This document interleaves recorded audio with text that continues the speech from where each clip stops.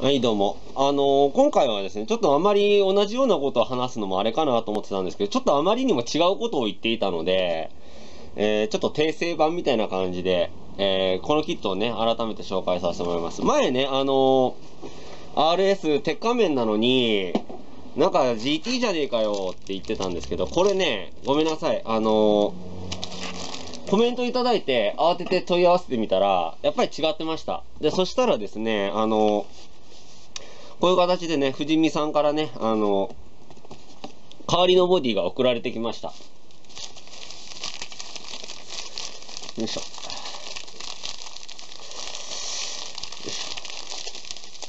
ちゃんとね、鉄仮面でした。ごめんなさい。あのー、よいしょ。こういう風にね、あのーちゃんと鉄仮面のボディが入ってるのが本来正しいそうです。正しいようです。ただ、正しいです。なので、あのーちゃんとね、えっ、と、ごめんなさい。ちゃんと調べてから言えばよかったですね。こういう感じでね、ちゃんと変わってくる、変わったのが入ってます。これが本来正しいそうです。なので、もしね、例えばこの、RS 鉄仮面買いましたよと。鉄仮面買ったら、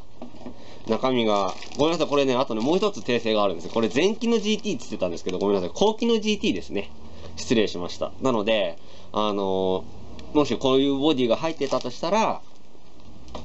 ちゃんと藤見さんに問い合わせれば、こういう代代替品を送ってくれるっていうことが分かりましたので、これはちゃんと訂正させてもらいます。でね、えっと、完成させた状態のやつが、今、モデルカーズの、このモデルカーズチューニングその3の中で、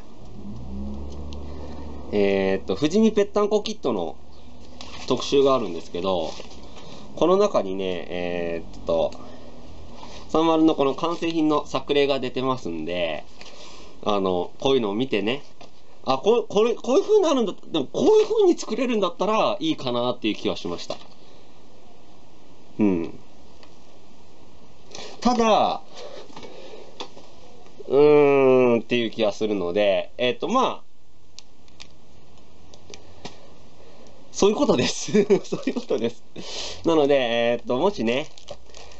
買って、これが入ってて、このまま前期の GT で組んでもいいです。あ、前期じゃない、また間違えた。後期の GT で組むのもいいですし、鉄仮面で組むのもいいですし。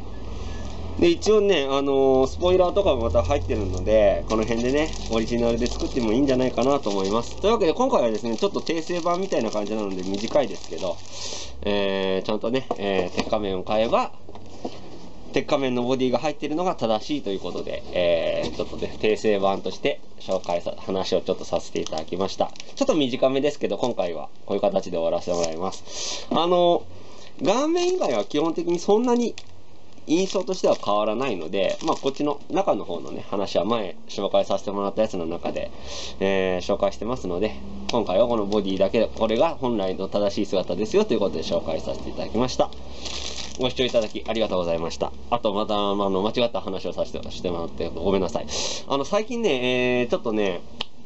あの、過去にアップしたやつの中で結構間違えてるやつを指摘されるコメントがちょこちょこいただいてまして。で、正直ね、自分もね、知らないことの方が多いです。はっきり言って。間違えたことを言ってることも多いと思いますけども、その辺はね、えー生温かい目で見て、見ていただければと思います。というわけでご視聴いただきありがとうございました。